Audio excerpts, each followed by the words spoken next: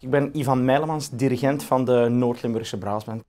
De Noord-Limburgse Braasband is een orkest eh, in Noord-Limburg. De naam zegt het zelf al natuurlijk. Ehm, opgericht in de jaren 80.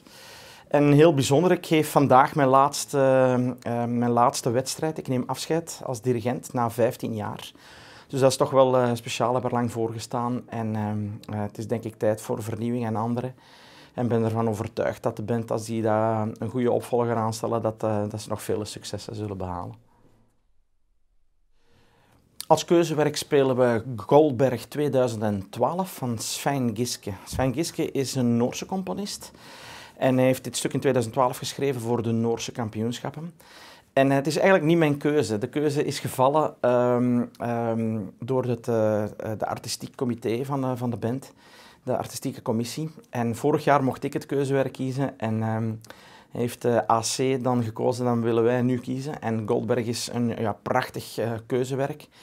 Uh, geïnspireerd op Bach, dus er komt heel veel Bach in voor, maar ook uh, Brecker bijvoorbeeld, heel veel funk en, en ook wat jazz-invloeden.